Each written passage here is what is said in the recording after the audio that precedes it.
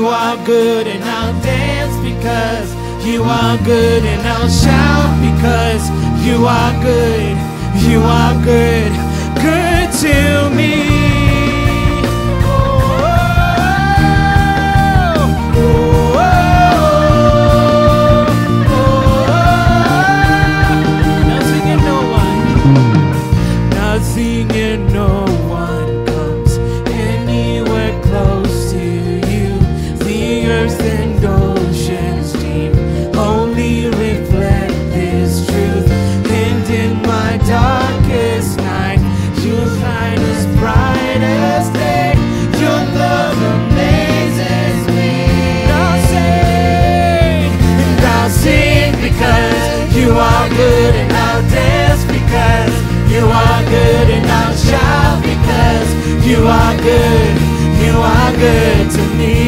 Me, and I'll sing because you are good, and I'll dance because you are good, and I'll shout because you are good, you are good, good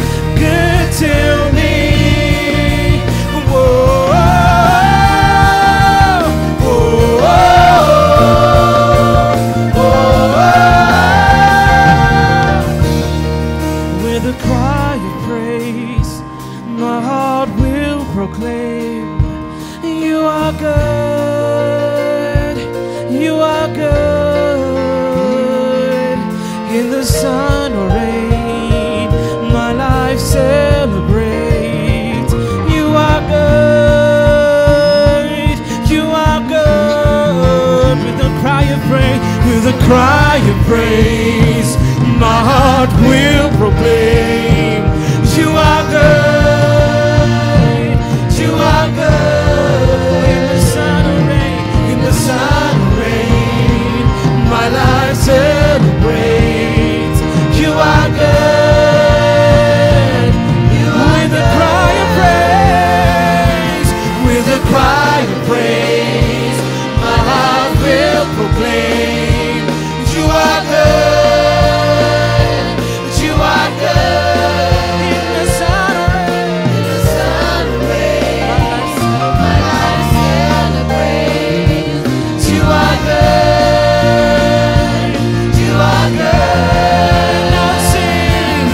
I'll sing because you are good, and I'll dance because you are good, and I'll shout because you are good. You are good to me, to me. And I'll sing because you are good, and I'll dance because you are good, and I'll shout because you are good. Sing it again, I'll sing, and I'll sing because you are good, and I'll dance because you are good, and I'll shout because you are good. I'll sing because, and I'll sing because you are good, and I'll dance because you are good, and I'll shout because you are good. You are good, good to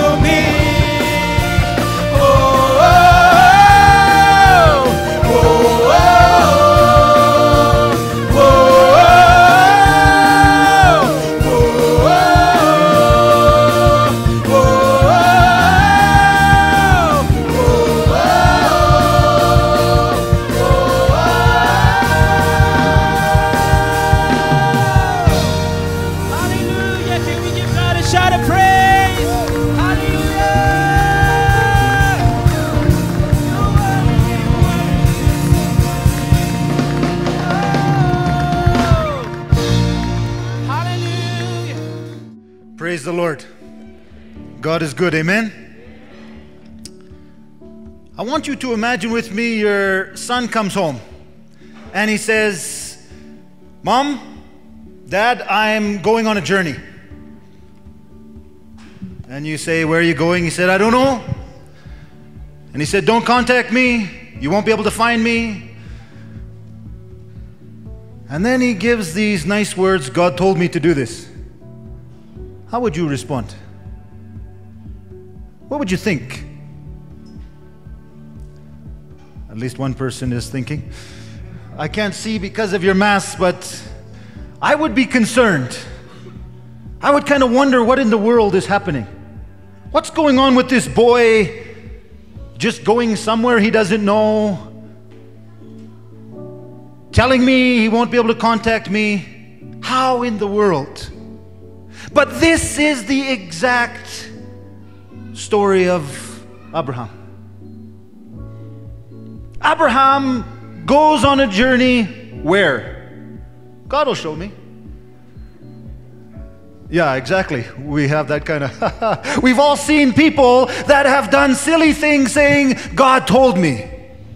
So now our minds question. Yet, from the story of Abraham in Genesis chapter 12, we can find an understanding of God's responsibility for us. Not to live foolishly, but to live under the mighty hand of God. I want to draw your attention to Genesis chapter 12. If you have your Bibles, turn with me. I want to read the first three verses of Genesis chapter 12.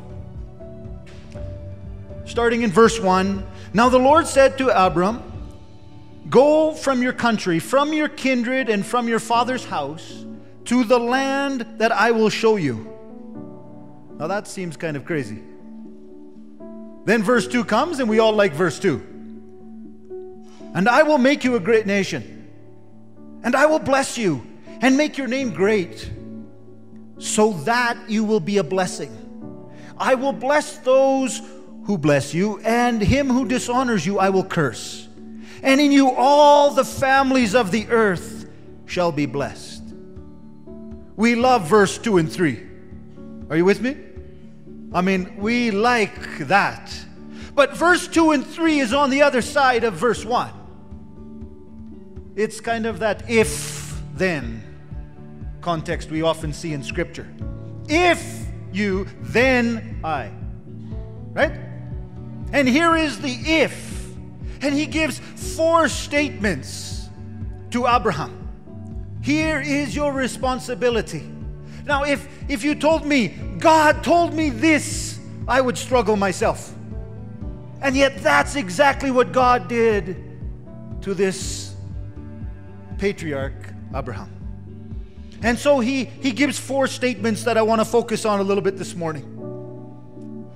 The first thing he says is, Go forth from your country, leave your country. Now, many of you have left your country.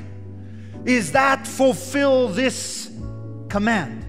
Well, it's, it's not about geographical location, it's about the mindset. And I want to ask you a question, especially for my Ethiopian friends. How many pieces do you cut a chicken into? You all get me right away. All the non Ethiopians are, what are you talking about? All the Ethiopians know it's 12. From the north to the south to the east to the west, everywhere in Ethiopia, I ask the question, it's 12. Whether you're in Gambela or up in Tigray or over in Dire Dawa or down south in Kibra it's 12. It doesn't matter the ethnic group, it's 12. But you cross that border to Djibouti, it's not 12. You go across the border to Kenya, it's not 12. Are we together?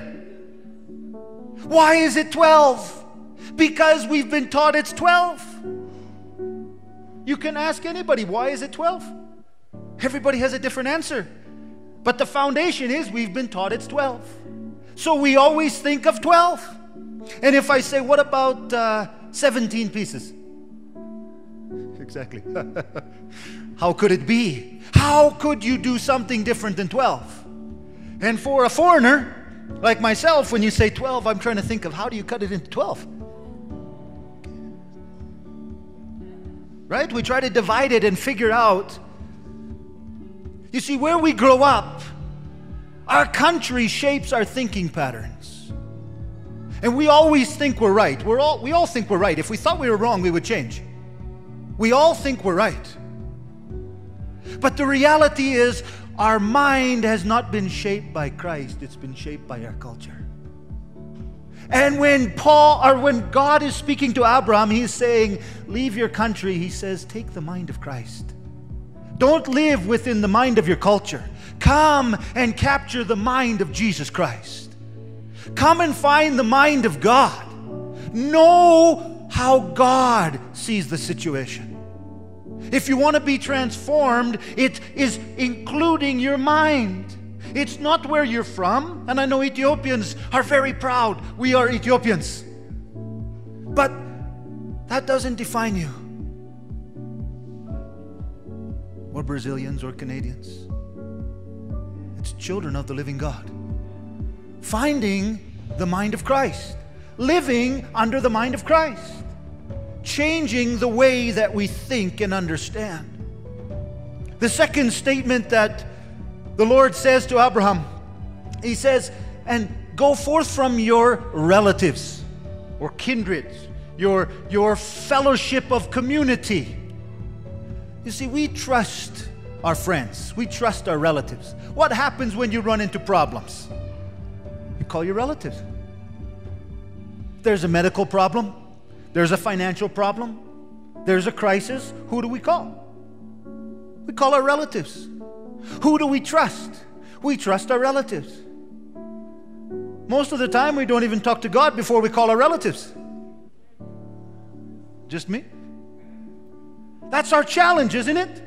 We have developed in such a way that our family network, which is developed, created by God, becomes the place that we trust. And God is saying, Leave your relatives. Come away from your relatives. Stop trusting your relatives so that you can trust me. Trust the Lord. This is our challenge. We have created a way that we can trust ourselves. We can trust our relatives. Why do I need to trust God when I can trust my relatives? If I have a financial crisis, I can call my, my rich family. If I have a medical crisis, I can call my medical family members. Why do I need to trust God? See, we live in a world where we have eliminated the need to trust God. Then a pandemic comes. Then we're confused. Are we together? And then what happens? People are rushing back to the church. I don't know if you're experiencing it, but people are interested in spiritual things because there's a crisis. Why? Because we cannot trust in the things we can see. We must trust in the one who created everything that is seen and unseen. Abram is told to leave his relatives, get rid of that trust network, and begin to trust in your Creator. Begin to trust in the one who has called you, the one who has set you apart, the one who has filled you with His Spirit. Trust in Him. Begin to trust in that one. That's not easy. It's not just a statement we make, it's a practice we live. Trust is something you develop over time. He's saying, leave those ones that you know. It's easy to trust our relatives. We know them. We know our relatives. We know what they can and can't do. But God is saying, leave them. Now, come on this journey of faith where you learn to trust me.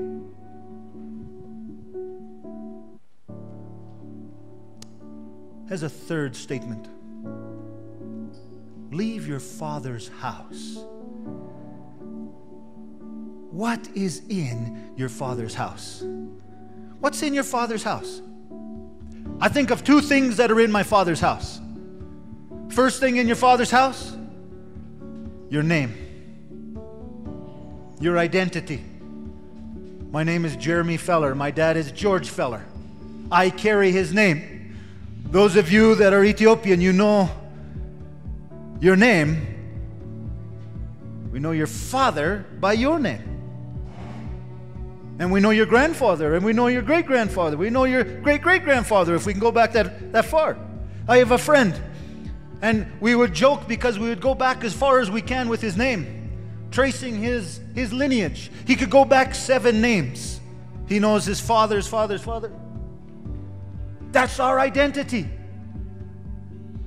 And God is saying, Leave your identity and find your identity in me.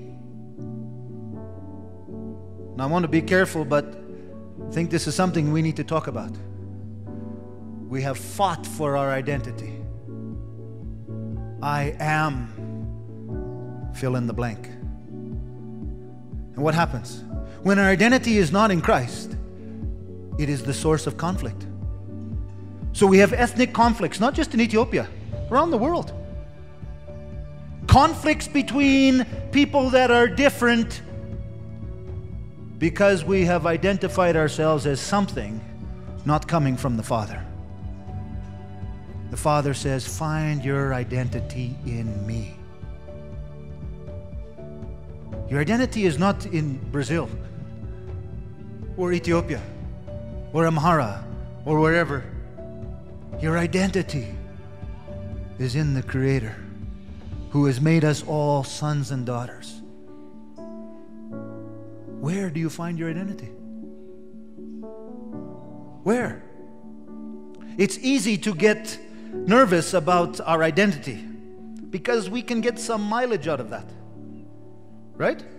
I know my dad is well known in this area. I can get respect immediately by saying, I am the son of. My, my dad is a, a pastor and a teacher in Canada. And I grew up in, in that environment. And so, in the ministry circle that we are part of, my dad is well known.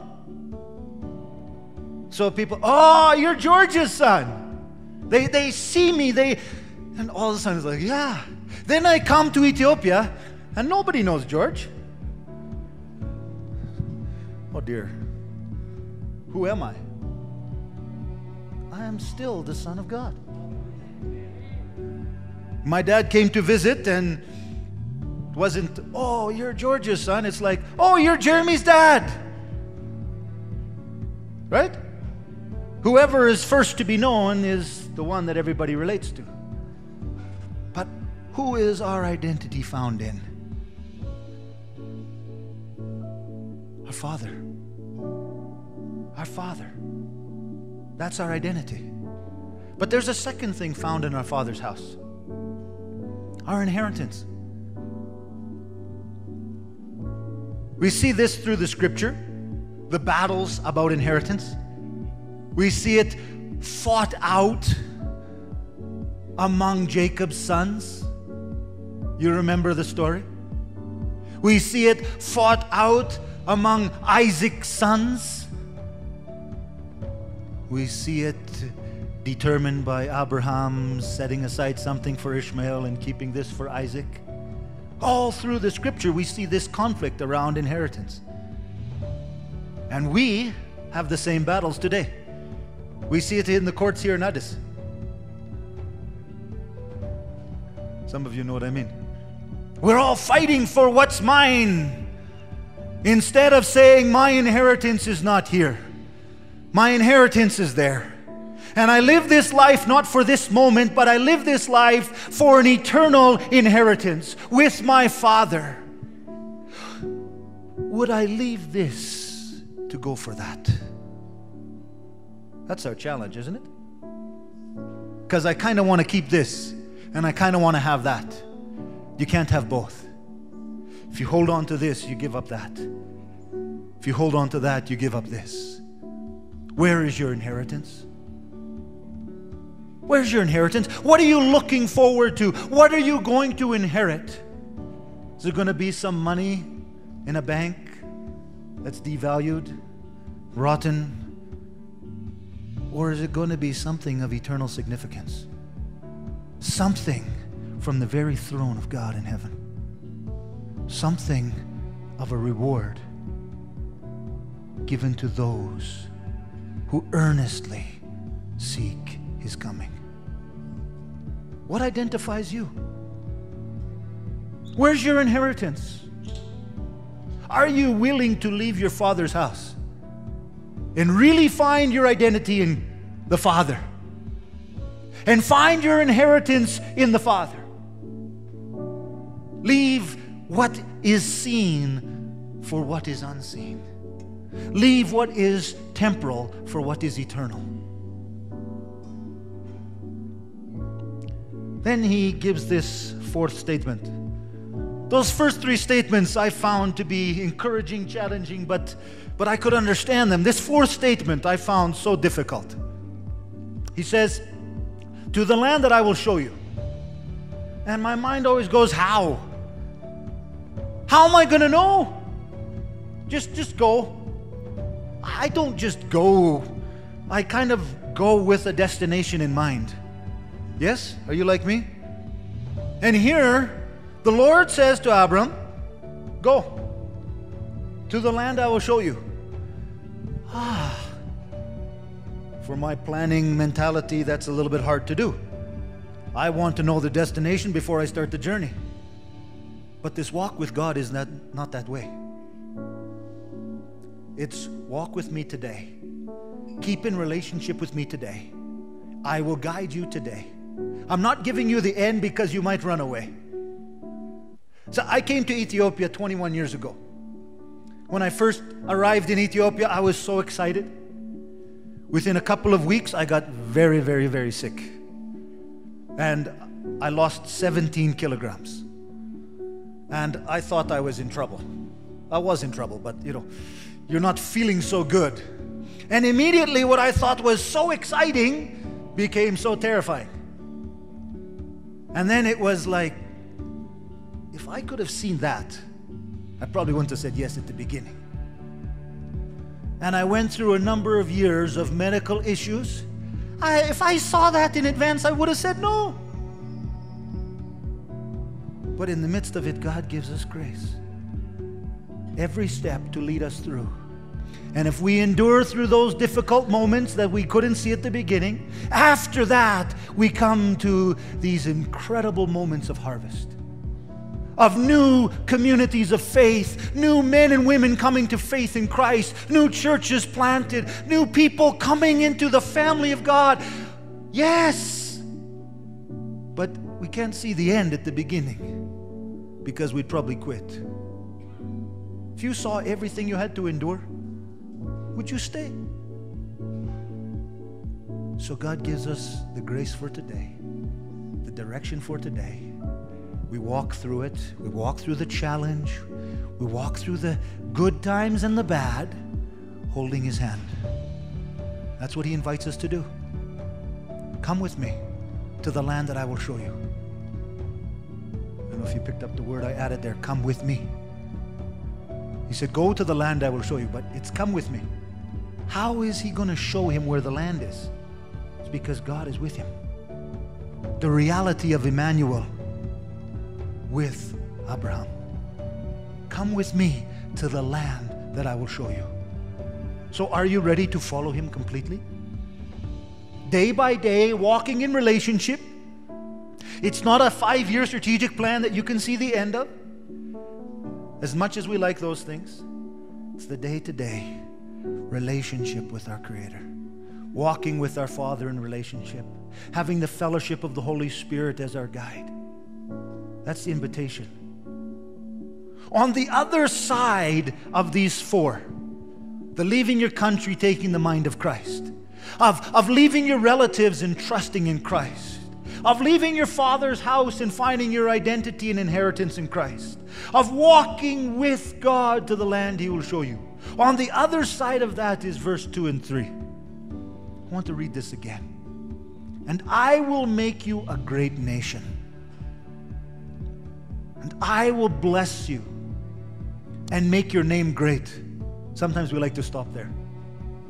Right? We like that. That's yes, that that that's me at the center. But it doesn't stop with me.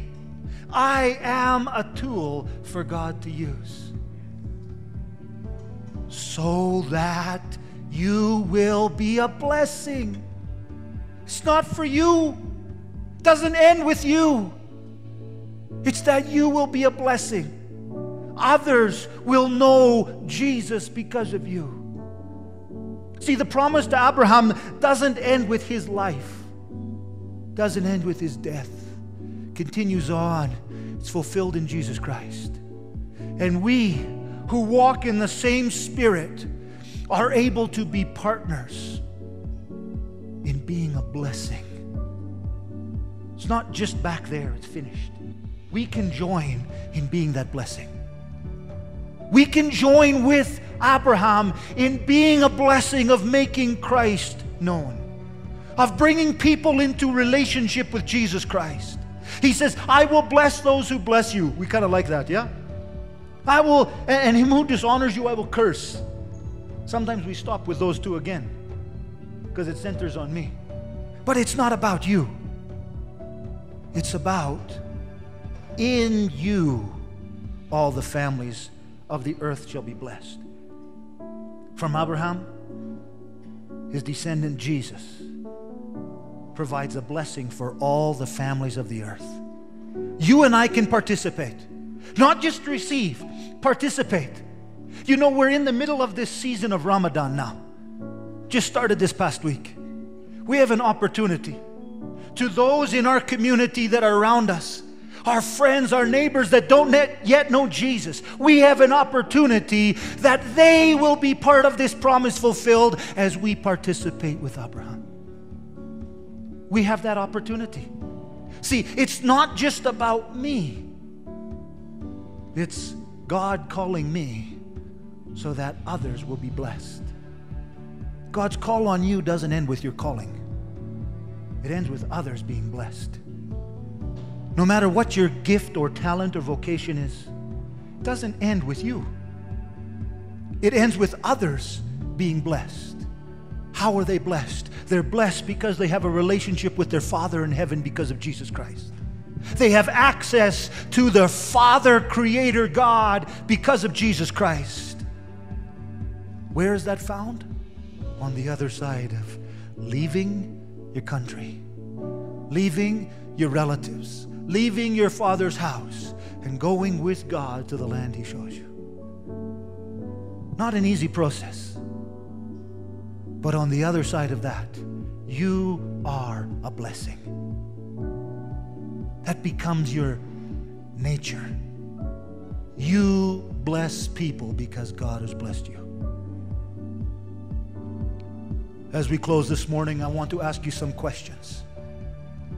I want you to reflect, not just be excited, but to reflect. And I have two questions. Number one, what do you need to leave behind? Maybe you've left some of those things behind already. But what do you need to leave behind? What is holding you back from being the blessing that God has called you to be? What's holding you back from walking daily with your Father? What's holding you back from, from leaving? What, what is it? Is there something that's got a hold of you? This morning, you can walk away from that and walk on to the Lord. My, my son Tim, he's, he's eight years old. And he loves to run looking back. He always does this since he was a little boy. And at school, he's running through the schoolyard looking back at the boys and girls chasing him. And he ran into a swing set and smashed his mouth right here because he's turned around. That's what happens when we're looking back trying to run forward. We can't walk to where God's calling us while we're looking back at our family, our relatives, our father's house. We have to be looking at Jesus. So Paul says, I press on towards the upward call of God in Christ Jesus, forgetting what lies behind. That's the invitation. What do you need to leave behind? Second question Who will be blessed because of you? Who will be blessed because of you? Will the nation of Ethiopia? Will your community? Or does it end just with, with me? I'll be blessed because I chose Jesus. Who will be blessed? Will your community know Jesus because you live there? Will your neighbors know Jesus because you've gone out and shared your hope in Jesus Christ with them? We're coming up to this fabulous holiday called Easter. It's not just a holiday, It's the centerpiece of our faith. Jesus died and rose again. He conquered sin, death, and the grave. Who will be blessed because you have faith in Christ today? Who will be blessed? Will you bow with me in prayer this morning? Father, we, we come with a thankful heart. Thankful that we can be together as the body of Christ. Thankful that your word continues to speak and to challenge and to poke and to prod us. Heavenly Father, this morning as we pause to reflect, Lord, if there's something that we need to leave, by your Spirit, speak to us this morning. There's something that's holding us back so that we can't walk in the fullness of your call. Holy Spirit, come. Come by your Spirit and speak to us and convict us where we need to walk away and press on to the upward call of God in Christ Jesus.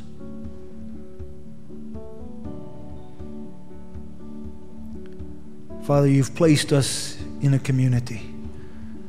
You've placed us around people, some who know you and some who don't. But you filled us with your Spirit to be your witnesses in Jerusalem, Judea, Samaria, and to the ends of the earth. And you've equipped us. You've entrusted us with your gospel. Father, this morning, help us to see who can be blessed because we have been blessed. Father, help us to leave our country and take the mind of Christ. Help us to leave our relatives and trust in Christ. Help us to leave our Father's house and find our identity and inheritance in Christ. And help us to walk with Christ to the land that He shows us. For the glory and the honor of Jesus, we pray. Amen. God bless.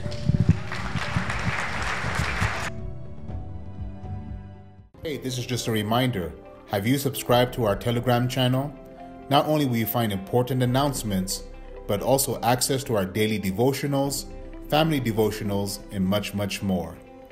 We also want to take this moment to thank you for your generosity and faithfulness throughout the years.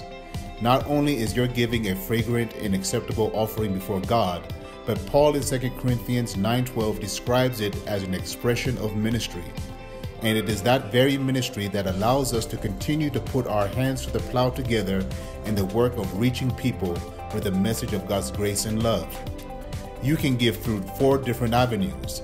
You can stop by your nearest commercial bank or Berhan Bank and deposit your offering into the account number on the screen. You can also take advantage of either bank's mobile banking apps. For those of you who have international major credit cards or debit cards, you can give online on our website, bezachurch.org. And you can always stop by our accounting office on the TK building, fifth floor, and they will be happy to serve you there. In this extraordinary and unusual season, we appreciate you going out of your way to give. Thank you. God bless you. በመጨረሻም አንድ ነገር ላስታውሳችሁ። የቤዛ ቴሌግራም ቻናልን ጆይን ያድርጉ። በቴሌግራም የቤተ ክርስቲያን ማስታወቂያ ብቻ ሳይሆን የዕለታዊ የእግዚአብሔር ቃል ጥናት፣ የቤተሰብ ጥናት እና ሌሎች አጫጭር ነገሮችን ያገኛሉ። በዚህ መንፈሳዊ ሕይወቶን በመመገብ ይትጉ።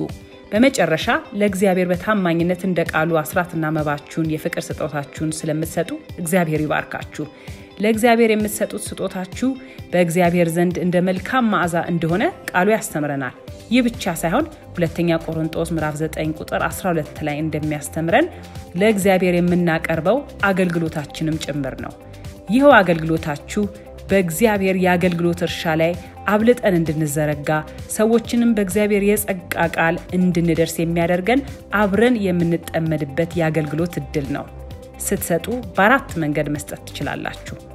አንደኛ በቅርባችሁ ወደሚገኝ የኢትዮጵያ ንግድ ባንክ ወይም ብርሃን ባንክ በመሄድ ሁለተኛ በተለይም በዚህ እንግዳ ጊዜ በስልካችሁ በሚገኝ ሞባይል ባንኪንግ አፕ እንድትጠቀሙ አብልጠን እንመክራለን።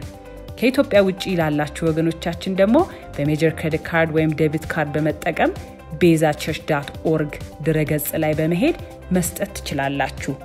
በመጨረሻም በቲኬ ኢንተርናሽናል ህንፃ አምስተኛ ፎቅ ላይ በሚገኘው የቤዛ ሂሳብ ክፍል በመሄድ ልትሰጡ ትችላላችሁ። በዚህ ባልተለመደ እንግዳ በሚመስል ጊዜ ሁሉን አልፋችሁ ለእግዚአብሔር ሥራ ከሌላው ጊዜ አብልጣችሁ ስለተዘረጋችሁ እግዚአብሔር ይባርካችሁ። እንወዳችኋለን። እግዚአብሔር ይጠብቃችሁ፣ ፊቱንም ያብራላችሁ።